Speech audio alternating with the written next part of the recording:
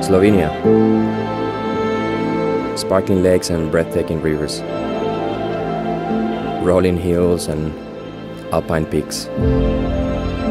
To me, this place has become like my home.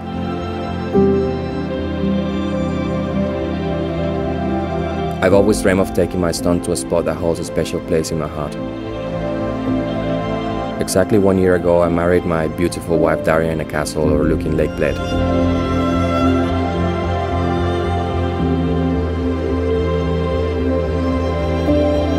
My name is Ernesto Gainza, and I'm an extreme athlete and aerial stuntman from Venezuela. Today, that dream became a reality.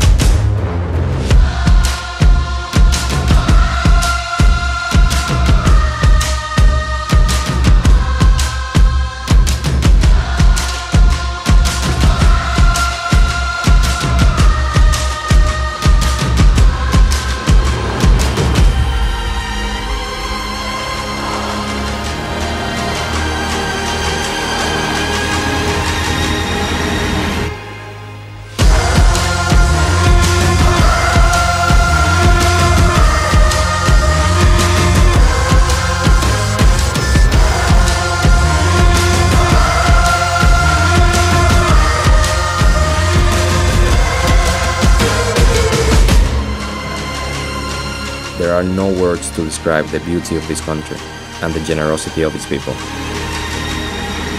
Thank you so much for having me.